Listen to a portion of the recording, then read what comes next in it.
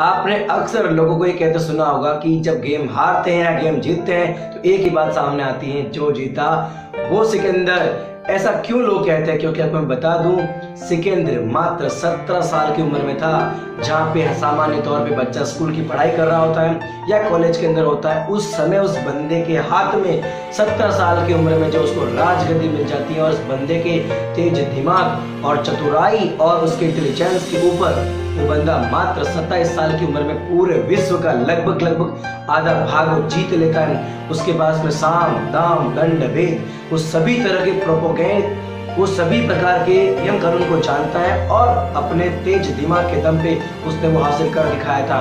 But हम इस उम्र में क्या कर रहे होते हैं? या तो हम अपनी पढ़ाई कर रहे होते हैं और हमें दूसरी चीज़ों के बारे में कुछ ज्ञान नहीं होता है तो आपको मैं बता दूँ, आप अपने जीवन में कभी रोना ना रोए कि अभी तो मेरी उम्र है क्या है। आपको मैं हज़ारों एग्ज़ाम्पल दे दूँगा जिसमें मात्र पाँच साल की उम्र से लेके 20 साल की उम्र तक ऐसे हज़ारों एग्ज़ाम्पल भरे हुए हैं जिन्होंने इतिहास रचा था। इसी प्रकार के अमेजिंग फैक्ट और वीडियो देखने के लिए लाइक करें शेयर करें सब्सक्राइब करना ना भूलें और हाँ आज से आप भी अपने जीवन के फोकस को ढूंढें और अपने लक्ष्य के लिए लग जाएँ। जय हिंद, जय भारत।